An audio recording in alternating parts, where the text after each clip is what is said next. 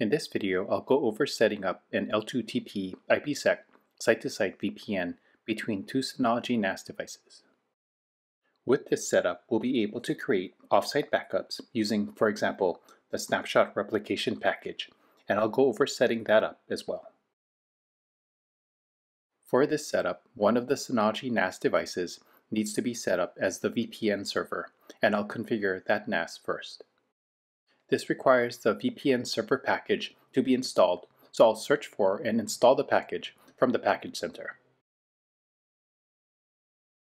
Once installed, I'll bring up Control Panel, then select User and Group to create an account that will be used to connect to the VPN server. Here I'll click Create and enter in the required fields on this Enter User Information window. I'll then click Next, then Next once again through the remainder of the User Creation Wizard windows, and finally click Done to complete the setup. Now I'll bring up the main menu and launch the VPN server package. I'll select the privilege listing and limit VPN access to the user that was just created on the L2TP IPsec VPN server. Next, I'll select the L2TP IPsec VPN server listing. Click Save on the privilege changes that I just made then enable the L2TP IPsec VPN server, and enter in a pre-shared key that will be used when setting up a client device. Nothing else needs to be changed, so I'll click Apply to finish up the setup. I'll also click OK on this pop-up window regarding port forwarding and firewall settings that list the UDP ports that need to be opened. We'll get to setting up port forwarding a little later in the video. Next, I'd like to set up a DDNS hostname for this Synology NAS. This will allow the client NAS to be able to access the L2TP IPsec VPN server using a hostname rather than an IP address that may be changed by my internet service provider. I'll do this by bringing up the External Access Control panel, then select DDNS. I'll click Add, then select Synology under Service Provider. Now I'll enter in a hostname I'd like to use. Then I'll test the connection to make sure server access is functioning. The test came back with a status of normal, so I'll click OK to complete the setup. Next, port forwarding needs to be set up to allow external access to the Synology NAS that is running the VPN server. In my case, I've already configured ports 1701, 500, and 4500 on my router to forward to the corresponding ports on the NAS. At this point, everything needed to allow access to the Synology NAS running the L2TP IPsec VPN server is in place, so I'll switch over to the Synology NAS that will be set up as the VPN client to set that one up. I'll then bring up Control Panel, select the Network Control Panel, then select the Network Interface listing. Here I'll click Create then select Create VPN Profile, which brings up this Create Profile wizard. For VPN connection method, I'll select L2TP IPsec. Then under General Settings, I'll enter in a profile name. Enter in the DDNS hostname that was set up earlier under server address.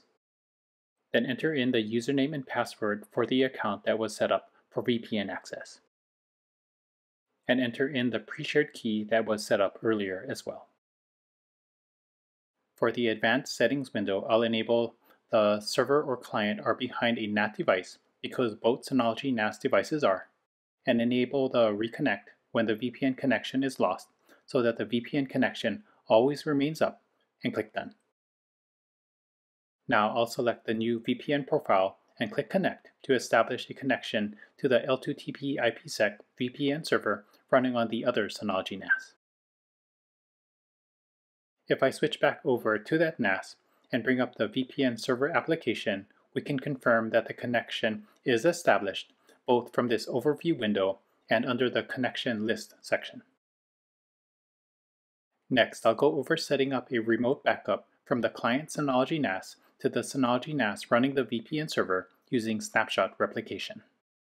This requires the snapshot replication package to be installed on both Synology NAS devices. So I'll do that here on this NAS by bringing up the Package Center, then search for and install the snapshot replication package.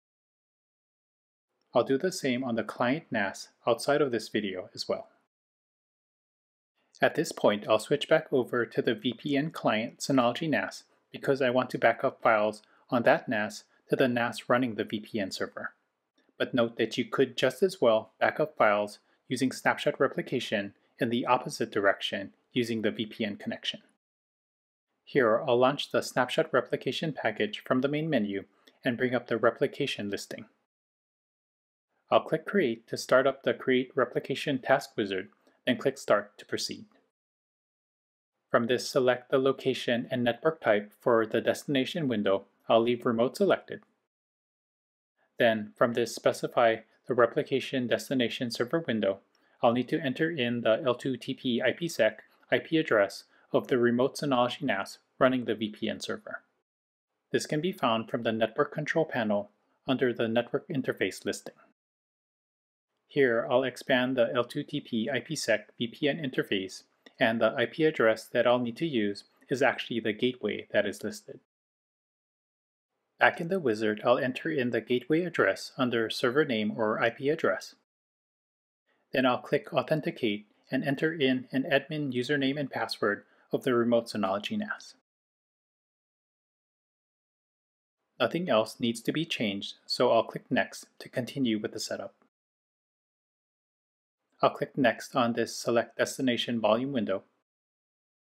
Select the shared folder I would like to replicate. I'll leave things as is on this initial replication window, as well as on the remaining Setup Wizard windows, and click Done to complete the setup. After the task finishes loading, if all goes well, you should come up to this pop-up window confirming that the replication task was created successfully. I'll click OK and we can see that the initial replication task is now taking place. And when done, you'll see a pop-up window displaying that the replication task completed successfully. If I switch back over to the Synology NAS running the VPN server and bring up snapshot replication, we can see the replication details from the destination end of the setup. I can also bring up FileStation to view the files that were replicated over the L2TP IPsec VPN to the NAS.